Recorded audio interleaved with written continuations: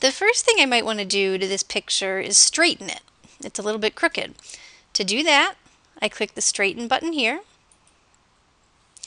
and I get this slider down here at the bottom and I just move this back and forth until it looks straight. And if I'm happy with how it looks, I click apply. I also might want to crop it. To crop a photo, just click the crop button here.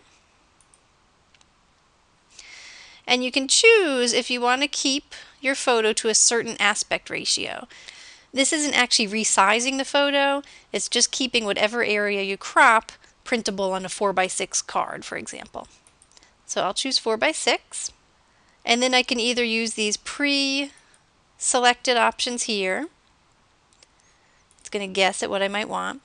Or I can just click in the window and drag a box myself, and it's always going to keep it to the exact proportions of a 4x6 card.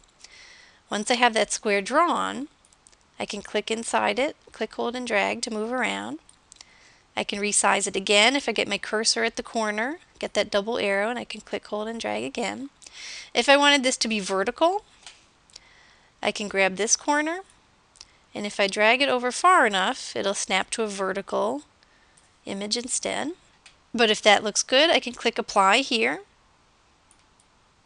and it'll take me back to the editing screen. And for any edits you make on this page, you always have the undo button here. So you can always reverse what you just did.